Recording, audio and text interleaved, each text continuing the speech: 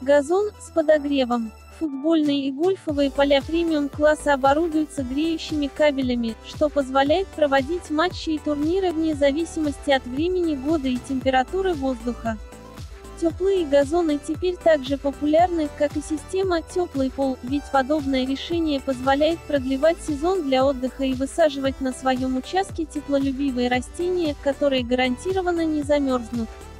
Кроме того, можно обеспечить стабильный прогрев в дренажной системе, что особенно актуально для местностей с небольшой глубиной залегания грунтовых вод.